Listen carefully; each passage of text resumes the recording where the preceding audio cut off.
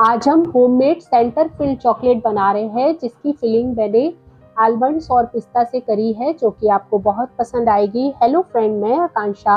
Welcome to my channel tasty food with Akanksha. अगर आपको मेरी वीडियो पसंद आए तो मेरी वीडियो को लाइक कीजिएगा। चैनल पे न्यू है तो सब्सक्राइब कीजिएगा।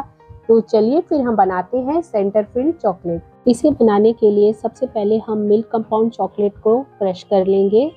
इसे चाकू से हम अच्छे से क्रश कर लेंगे। ताकि ये अच्छे से मेल्ट हो जाए। मैं इसकी दो बार को कट करूँगी। ये टोटल 500 ग्राम का बड़ा पैक होता है। अब देखिए, हमने चॉकलेट को क्रश कर लिया है। और अब हम इसे डबल बॉयलर में मेल्ट करेंगे। सारी चॉकलेट को हम एक बॉल में ट्रांसफ़र कर लेंगे। चॉकलेट को देखिए, हमने बाउल में निकाल लिया है। और अब हम इसे डबल बॉयलर पे मीडियम फ्लेम पे मेल्ट करेंगे। डबल बॉयलर में चॉकलेट हमारी अच्छी तरीके से मेल्ट हो जाती है। आप देख सकते हैं, चॉकलेट हमारी मेल्ट हो गई है। जब ये हल्की ठंडी हो जाएगी तो हम इसे पाइपिंग बैग में ट्रांसफ़र करेंगे। अब देखिए, हमारी चॉकलेट मेल्ट हो गई है। जिस तरीके की चॉकलेट हमें चाहिए।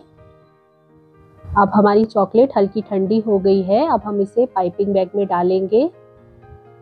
पाइपिंग बैग से चॉकलेट अच्छी तरीके से मोल्ड में फिल हो जाती है। पाइपिंग बैग को हम अच्छे से बंद करेंगे। और इसमें हम छोटा सा होल करेंगे। अब इस तरीके का हम मोल्ड लेंगे। ये पीवीसी मोल्ड है, ये सेंटर फिल चॉकलेट का मोल्ड है। और अब हम इसमें धीरे धीरे करके सभी में अच्छे से चॉकलेट को फिल करेंगे। आप चाहे तो स्पून की हेल्प से भी इसको फिल कर सकते हैं। अब देखिए, हमने सारे चॉकलेट अच्छे से फिल कर दी है। और अब हम इसे 15 मिनट के लिए प्रेस कर देंगे ताकि इसे सेट हो जाए। पहले हल्का सा हम इसे टैप करेंगे ताकि हमारी चॉकलेट एक सी हो जाए। और देखिए, हमने इसे 15 मिनट के लिए फ्रीज कर लिया था और ये अच्छे से सेट हो गई है और ये आसानी से इस तरीके से मोल्ड से निकल जाती है। अब देखिए, हम एक प्लेट में सारी चॉकलेट्स को निकाल लेंगे। आप देख सकते हैं कितनी बढ़िया चॉकलेट हमारी बनी है। और ये बच्चों को बहुत ही पसंद आएँगी। ये होममेड चॉकलेट है।